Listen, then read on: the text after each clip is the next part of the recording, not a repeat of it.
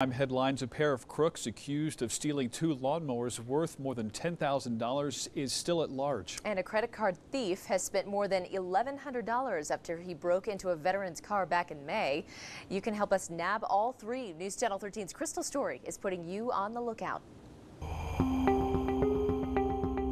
Pueblo police are putting you on the lookout for this man. He's accused of breaking into a car at this Hampton Inn parking lot back on May 8th. He got away with an unactivated credit card that belonged to a veteran and has now spent more than $1,100 at more than seven stores, including Walgreens, High Fashion, and two different liquor stores on the east side of Pueblo. He's described as a white male in his mid 30s. Call 719 553 2506 for Pueblo Police Detective Canton if you have any information on the suspect.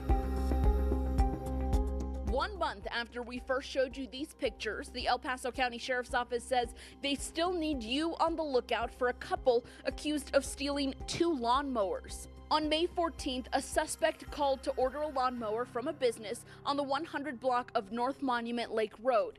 He had a towing company pick them up and drop it off at a storage facility in Castle Rock. These two suspects picked up the lawnmowers, but the $10,000 payment never went through. Their ID given at the storage facility was fake. Call 719 520 7777 for the El Paso County tip line if you recognize these suspects. Putting you on the lookout, I'm Crystal Story, KRDO News Channel 13.